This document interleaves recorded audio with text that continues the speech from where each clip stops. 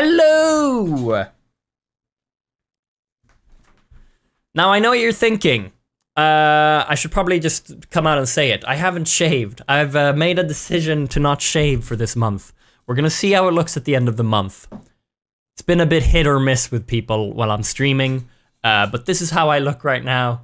Deal with it. Uh, I don't normally make these kind of uh, videos. Um, unfortunately, YouTube had some issues last night for about two hours.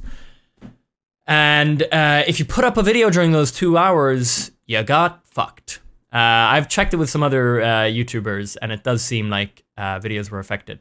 I'm making this short video just to let you know that I put up my 1300th video last night. It's a best of 100. It's the funniest moments put together um, from the last 100 videos.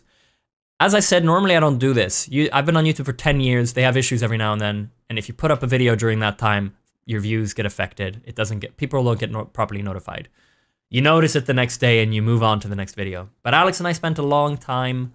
Uh, we put in a lot of work on this video. So I thought I'd just make sure that everybody knows about it. It's your choice if you want to watch it or not. Sorry for bothering you if you were properly notified. Um, but this meant a lot to me, so I just wanted to be sure. That's all.